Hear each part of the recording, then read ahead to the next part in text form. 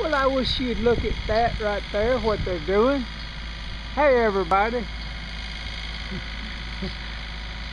they are painting the grass green.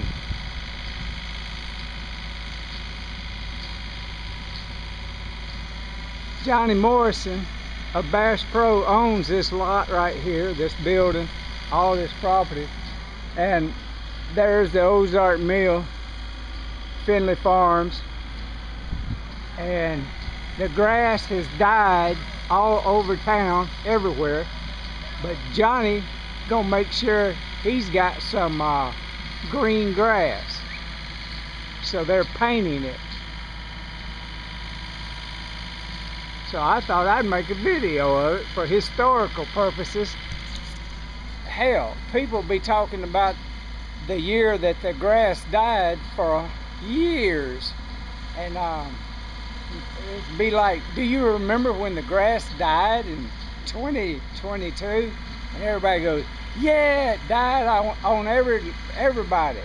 Not just somebody, but everybody died on Bass Pro Johnny Morrison. But he painted his grass green. You know what green is? Green's the green is the color of money.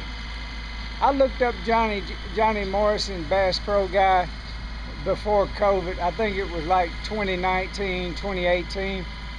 He was just breaking through $2 billion.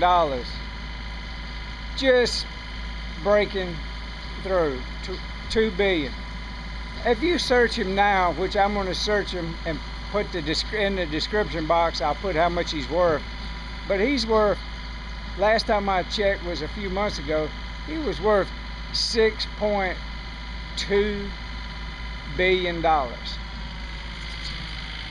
Well, if I had that kind of money, I believe I would paint my grass green too. The color of money.